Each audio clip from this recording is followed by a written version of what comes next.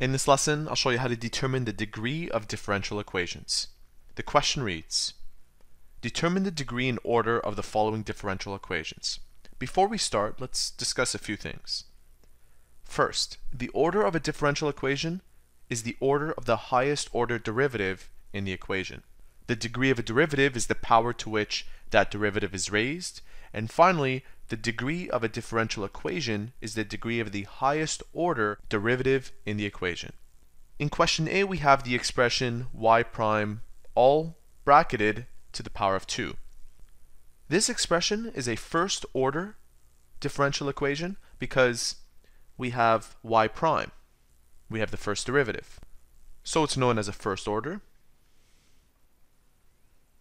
And given that this derivative is being squared, we refer to it as a second degree. So this is a second degree first order differential equation. In question 2 we have y double prime all raised to the power of 3 minus 5 times y prime is equal to 7.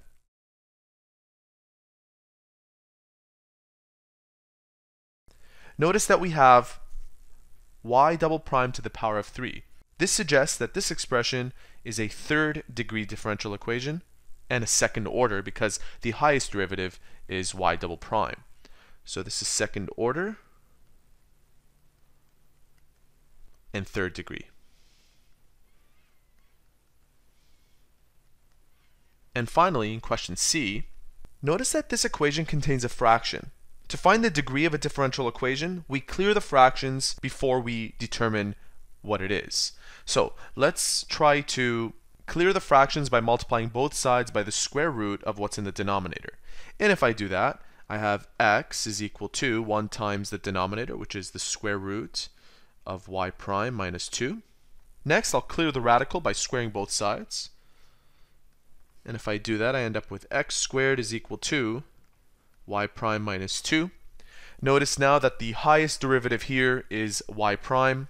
Therefore, this is a first order differential equation and also a first degree. First order and degree. And there you have it. Three examples on how to determine the degree of differential equations.